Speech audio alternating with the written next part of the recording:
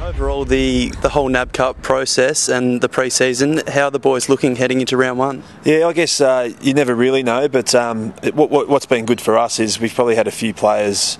Um, I guess a bit behind throughout the pre-season. It's given a really good opportunity for our second, first, second, third year players to sort of stand up and get a really good taste of senior footy over a two or three week period. So, uh, from that point of view, it's been I, I, think pretty impressive just to you know test our depth a little bit and. Uh, and sort of give us a bit of an insight to you know, people playing in different positions and just being able to sort of add a bit more flexibility to the team. So uh, yeah, looking in the round one now, it's uh, you know I guess training's going to be really interesting this week to see who puts their hand up.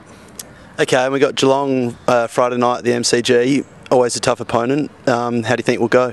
Yeah, look, it's going to be a really, really good game. Um, you know, they're they've been, uh, I guess, written off by some people in the media. But um, yeah, make no mistake, I think they're as hungry as ever, and just got some, you know, some superstar players and just a really quality organisation. So, um, you know, I guess it's going to test us. It's, it's, it's, it's, going to be a great, you know, great contest. I think, um, you know, I think our last, you know, four or five matchups against them, you know, there's been that rivalry there from yeah. the 09 Granny onwards, and and uh, you know, I just think it's going to be, you know, they'll come out really hard and fierce, and, and we're just going to have to match them in those, those stakes as well, and and I guess just the team that's more disciplined for longer will probably come out on top. But uh, as we've learnt in the past, you know, Geelong, no matter what stage, or yeah, they're, they're a really quality team, and, and uh, I think they'll, they'll be up and about.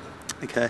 And one last thing, with um, your role as midfield and ruck coach, uh, what changes have you had to make with the new substitute rule? Yeah, look, I guess for us, we sort of probably one of the least rotating teams from the last couple of years, so I, I think that'll hold us in good stead um, from playing time for our, for our mids and everyone. But I, I, guess the one rule that's you know sort of interesting for me is uh, being a ruckman. I think it's probably it's probably a little bit harsh. Maybe you know, so I think some teams will probably just play the one recognised ruckman and. Yep.